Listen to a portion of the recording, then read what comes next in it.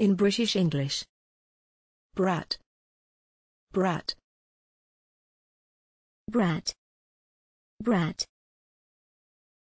brat, brat. Examples in phrases and sentences.